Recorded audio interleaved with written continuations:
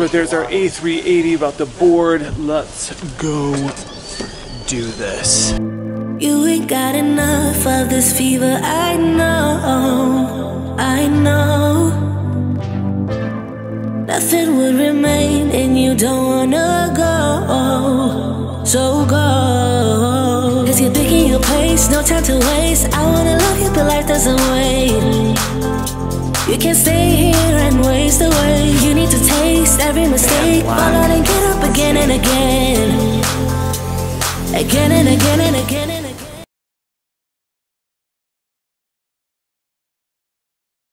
Hi, I am Zachary Burr Abel. That is Miles Monkey, and we are Monkey Miles. So, if you guys are first timers watching this, you just saw a little preview of Lufthansa first class on the A380, which we're going to get into with a full review. But just to introduce ourselves, what we do here with Monkey Miles, and what I do on the website, just personally, uh, we break down points and miles that you can take these insane flights to amazing hotels either utilizing point transfers or you buy points or you just get a fantastic deals. So like we're not opposed to paying for flights, but we just like to get the best possible deals. So we're not throwing, you know, crazy amounts of money to fly in Lufthansa first class. This is like a ten, fifteen thousand dollar flight you're watching. So I wanted to break down how exactly we did it so that you're most well informed so you could replicate it in your own life. So we searched for this using United Miles. We were in a little bit of a time crunch because if you watch some of the other videos from this series, you'll know that we were supposed to go to India and I forgot to get our visas. Oops. And we had to do a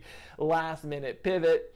That took us to Paris. I then needed to find us a way to get home from Paris, which, as luck would have it, when I was searching on United, I found us two first class flights on Lufthansa on the A380 that would route us through Munich direct into Los Angeles. That is a really difficult, excuse me, routing to get either Frankfurt or Munich to either San Francisco or Los Angeles are the most difficult possible flights you can get on on uh, on Lufthansa, specifically in first class. You can find business, but those long hauls where you get half a day in first or business are really really difficult. So we got very fortunate booking these. We went on to, to United.com. Another excellent resource would be Expert Flyer. Those two is how you can do the largest gathering of information uh, when you're looking to book Star Alliance. Once we found it, we then had to sort of analyze what our options were going to be to book.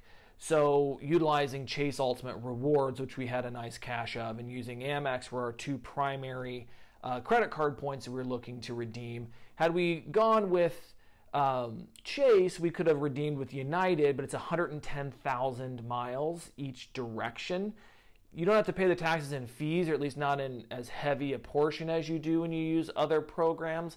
But 110,000 miles is a lot. Singapore is another transfer partner, but that's 107.5, so that's a lot as well. Versus if you look over at Amex, you could transfer into Avianca, which would be 87. You avoid a considerable amount of the taxes and fees there as well. Or you could do it with Aeroplan, but you're going to get hit with some taxes and fees, but it's the cheapest at 70,000. Now, we actually had some Avianca life miles. The problem was, and you'll see this if you start searching or you have been searching with Avianca, is that they don't always populate the same amount of inventory that you'll see on United. So when we did that, that's what we actually encountered. They were only showing one ticket and we needed two. So rather than try and wait for their manual ticketing office to process it, which you can access via email, we decided let's just utilize Aeroplan. Let's do an instant transfer. The taxes and fees weren't really that bad at 320 bucks. And in all honesty, I mean 320 bucks to fly first class is pretty stinking good in my opinion. So we did an instant transfer from Amex over to Aeroplan that was processed instantaneously. We then took the record locator from there. We went over to Lufthansa and we picked our seats, and that's how we ended up in 2D and G. At the time of booking, I think there was only like maybe two, maybe three other people in the cabin. There's eight total, so one, two, one across two rows. Um, and if you're, I think the second row is the best because you don't have as many people uh, walking past you to the bathroom. And for a couple sitting in 2D and 2G, you're sort of looking at the entire cabin. It's a really cool experience. So we ended up booking it out of Paris because that's where we needed to uh, originate from. It went through Munich. We were lucky enough to do the remote stand, so like they didn't pull up to the airport. We actually had to disembark the plane onto the tarmac. Then there was that guy standing there with the sign.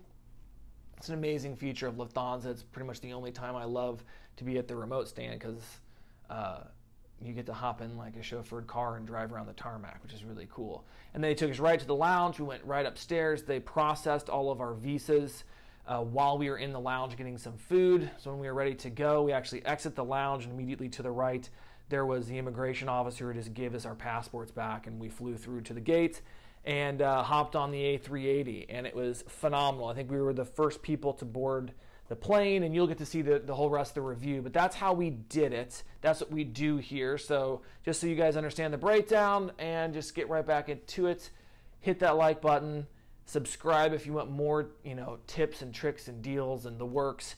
Uh, this is what we do. So enjoy Lufthansa first class on the A380. Don't you know what happens to dreams you don't follow? They crumble. You know I can't stay what you're getting so. So in your satellite, in your Lufthansa first, you get picked up and driven to the terminal. So this is really fun. Wow, wait. Picking your pace, no time to waste. I wanna love you, but life doesn't wait. You can't stay here mistake, fall and get up again and again, again and again and again and again.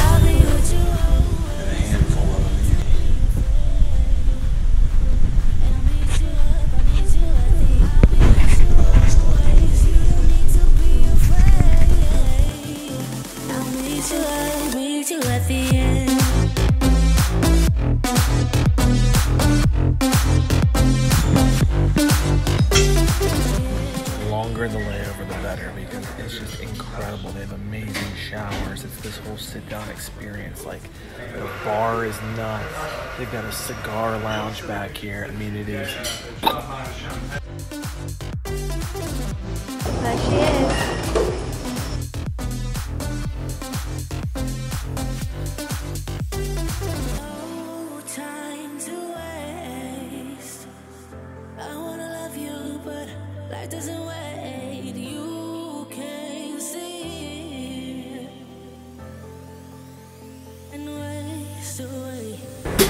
Boarded Lufthansa first on the A380.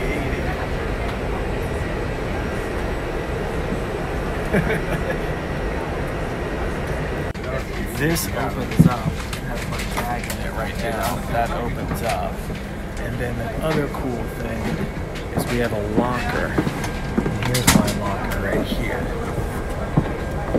I mean, it's just so well designed. That's the thing.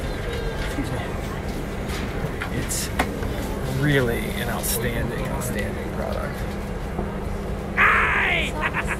Sucks.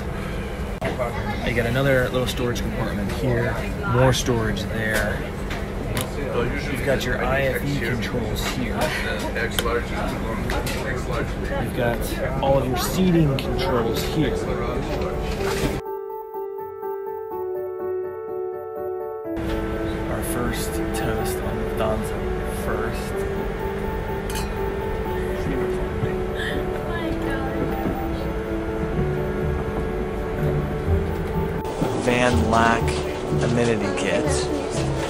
Got Van Laack pajamas. One D and G, I I mean, amazing. So amazing. And then there's also this one over here. Look at our shampoo. oder vollständig aus. put the PJs on. Look at the size of this Telekom-Hotspot an Bord nutzen möchten, schalten Sie die WLAN-Funktion ein. Weitere the So one of the nice things, because the cabin is so open, is that you can put up these privacy screens. So you can see how the cabin has changed a little bit. I have one. They've got one up.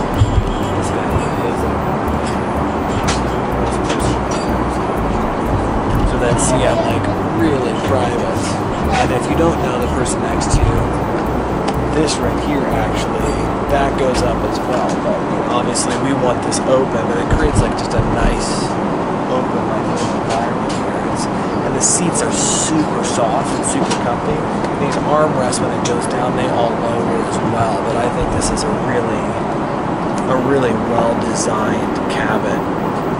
Uh, it'll be interesting to see how Lufthansa redesigns their first class because they've released a new business class.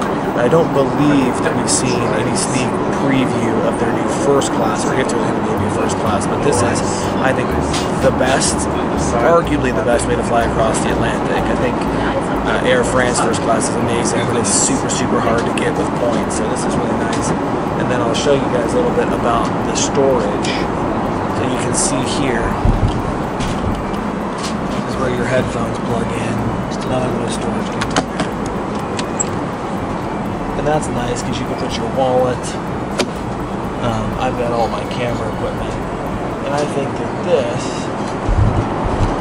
that little cup holder is so smart because when you're sleeping, that's where you put your water. So it's super, it's just right, it's like a bedside table, it's just right there. I mean, it's just German engineering, right? It's just so refined and meticulous. I think the cabin, the color palette of the cabin is really understated. All the colors are muted. And then if you can see where Miles is, every seat has a red rose. Let's take a look at the seating controls because I think they do a really a really fine job at allowing you to control the ottoman where I put my backpack. Then you can control like the headrest goes up and down. I'll show you a little uh, peek of them, but every single part of the of the seat articulates, and the ottoman is especially convenient because a lot of times you don't want to be all the way down, but like it's always too far away. And this is just it's so nice because it just moves in and out. I'll, I'll show you.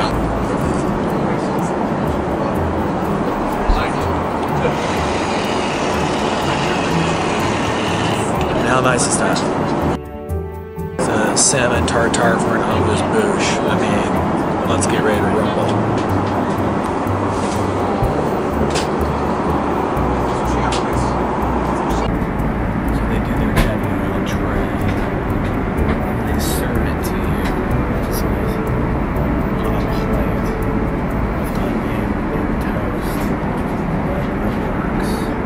Moving on to the rest of the appetizers, and I don't eat beef, and so they actually swapped out the beef for a salad. So we've got like a like a tuna sashimi or a seared tuna, it looks like, with some mashed peas, a salad, and then some roasted vegetables. Looks pretty good.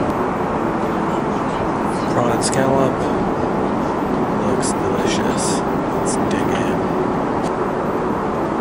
A nice selection of soft and hard cheeses saffron and chutney, saffron and pear chutney, and um,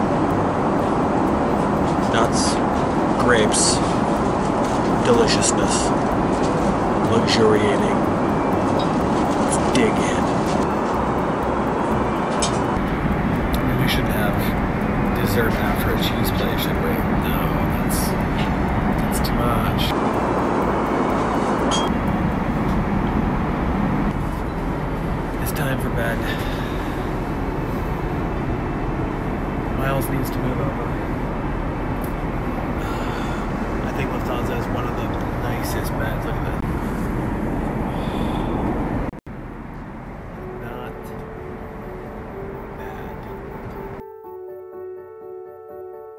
Couple hours of landing. Just having some fruit. I did sneak in some pasta in the middle of the flight. Unbelievable. Can we get this wall up, please?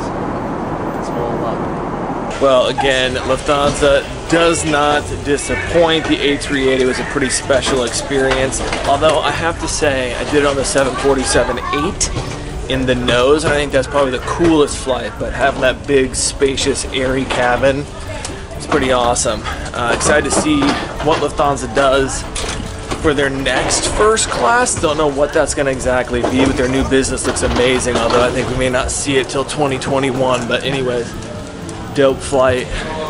Flip it around. There it is. One of the coolest things about Lufthansa first is they just pull all of your bags aside.